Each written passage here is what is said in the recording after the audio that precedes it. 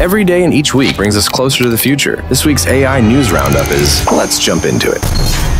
Apple is reportedly close to finalizing a deal with OpenAI to integrate ChatGPT technology into its iPhone devices. This would bring ChatGPT features to the upcoming iOS 18 operating system, enhancing the iPhone's AI capabilities. Apple is also in discussions with Google about potentially licensing its Gemini chatbot, though no deal has been reached yet. The OpenAI partnership would allow Apple to offer a popular chatbot as part of its AI offerings on iOS 18. Most of iOS 18's AI functions are expected to run on-device for privacy and speed benefits. Apple CEO Tim Cook has praised ChatGPT's transformative potential and Apple's software integration advantage for AI. Details on exactly how ChatGPT will be implemented in iOS 18 are still unclear, but the integration aims to significantly improve the user experience, potentially upgrading Siri and adding AI features to apps. An official announcement is anticipated at Apple's Worldwide Developers Conference in June.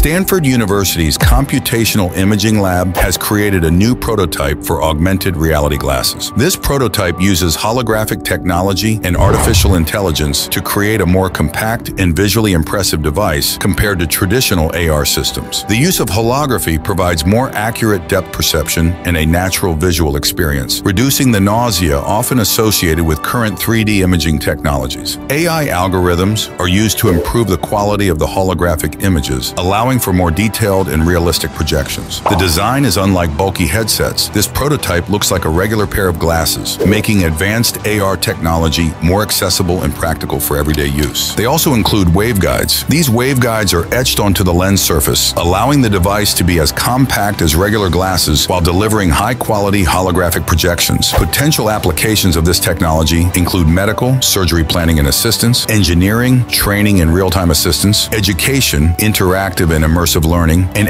entertainment, immersive gaming and media experiences. However, there are challenges to overcome, such as improving the relatively narrow field of view, 11.7 degrees, and gaining consumer acceptance in a market dominated by established players. Google I.O. 2024, a two-day event, kicks off with a keynote on the 14th of May, 2024 at Shoreline Amphitheater streaming live. It will be unveiling Android 15 with AI enhancements, satellite messaging, lock screen widgets, a redesigned status bar, and better battery monitoring. A major focus on advances in Google's AI technology, Gemini, and its ecosystem integration. Potential hardware announcements like the Pixel Fold, Pixel 9 series, Wear OS 5, and Google Pixel Watch 3. Possible updates on Wear OS 5, Chrome OS, Google TV, and augmented reality advancements. Online registration is open for virtual attendees to access live streams and on-demand content. AI lip synchronization technology threatens to disrupt traditional dubbing studios and jobs. The company Flawless is promoting AI technology that can alter video frames to match dubbed audio tracks. This improves the realism of content localization while reducing production costs. Hollywood studios are testing Flawless's AI lip sync tech, aiming the potential for boosting foreign content sales. Currently, the AI only syncs visuals to dubbed voices, not generating the voices itself. But future AI may be able to realistically realistically dub films in the original actors' voices. This emerging AI dubbing capability could eliminate many human dubbing jobs in the industry. Now we're stuck on this stupid tower in the middle of nowhere. And I don't blame you, and now we're stuck on this stupid stuck on this stupid freaking tower in the middle of freaking nowhere. 軽蔑してるよね仕方ないよ Y es todo por mi culpa.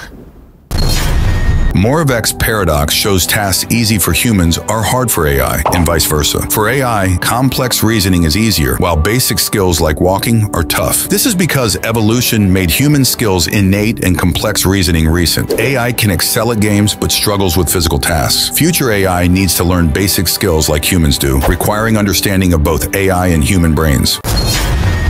Do you know Westworld? If you don't, Westworld is basically a science fiction movie where they have labs making human-like robots and the robots go crazy, but this is not in the movie.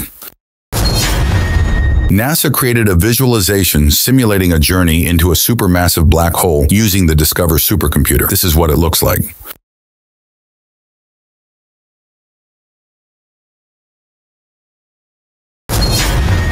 Will our future look like this? In China, AI monitors employees' productivity. If someone stops working or leaves their desk, a countdown begins showing they're not doing their job. This robot's action of picking up the orange is guided by a neural network trained in-house. Figure 01 uses OpenAI to understand common sense when Bill asks for something healthy. Researchers in Hong Kong create robots that can form swarms to work together on tasks. These robots collaborate to achieve goals that a single robot can't manage alone. AI is not going to take your jobs. The person who uses AI is going to take your job. So use AI as fast as you can so that you could stay gainfully employed.